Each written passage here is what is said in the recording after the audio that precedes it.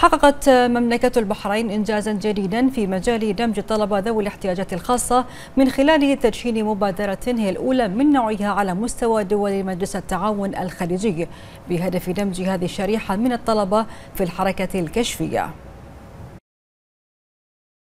دشن سعادة الدكتور ماجد بن علي النعيمي وزير التربية والتعليم مبادرة تحمل عنوان معا نرسم البهجة ونعزز ثقافة الاندماج والتي أطلقتها الوزارة مؤخرا ونجحت في مرحلتها الأولى في ضم 68 طالبا من جميع المراحل الدراسية بمدارس الدمج الحكومية من ذوي الإعاقات الحركية والذهنية والبصرية والسمعية إضافة إلى أربعين طالبا كشافا يشكلون فريقا للدعم والمساندة مع تنفيذ ورش تدريبية للقادة والكشافين بشأن كيفية التعامل مع هذه الشريحة من الطلبة.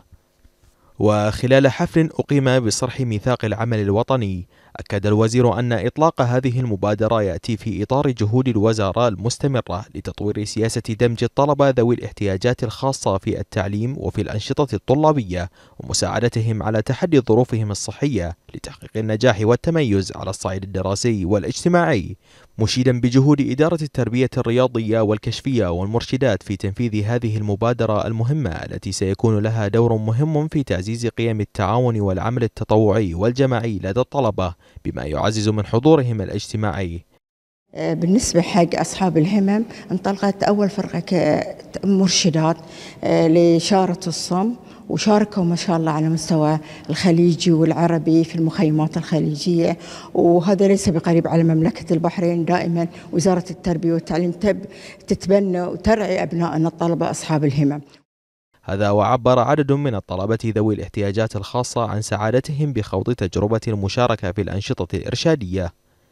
الفرقة الكشفية أضافت لي الكثير وحقيقة قسم الكشافة رحبوا فيني كل الترحيب في وزارة التربية وبالأخص جمعية الكشافة البحرينية برئاسة سعادة وزير التربية والتعليم.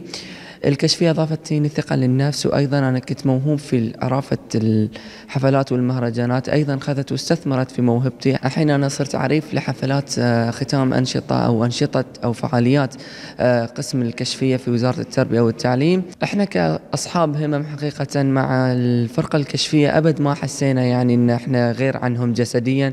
بالعكس رحبوا فينا كل الترحيب و الجميل إنه وثقوا فينا وأعطونا مهمات صعبة وإحنا الحمد لله كنا قدها. وأنا أوجه شكر الجزيل حق سعادة وزير التربية والتعليم رئيس جمعية كشافة البحرين. كشافة البحرين يعني أقدر أقول إن هاي شيء يعني أنقلني من مرحلة لمرحله ثانية بحياتي كامل، علمني شلون أعتمد على نفسي، علمني شلون حب الولاء والانتماء للوطن، طبعا كل هاي بفضل سعادة الدكتور ماجد النعيمي. وزير التربية والتعليم هو اللي عطانا هالقوة وهالحافز الكبير هاي اللي خلانا نندمج مع الأشخاص العاديين وخلانا نشوف حياتنا كحياة طبيعية.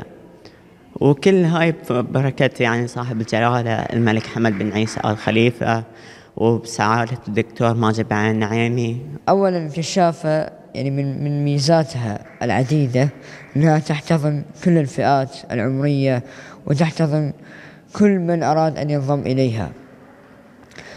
والكشافة لا تقف على أحد.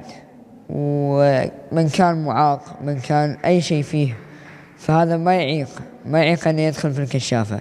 فالإعاقة طاقة. أضافت لي المرشدات حب الوطن والولاء للملك. وأضافت لي أيضا آه الاندماج مع المجتمع. وقام وزير التربية والتعليم بتدشين شارة المبادرة وتكريم جميع الكشافين والقادة المشاركين إضافة إلى تكريم فرقة العطاء للطالبات المرشدات من فئة الصم والتي تمثل تجربة فريدة من نوعها على مستوى المنطقة.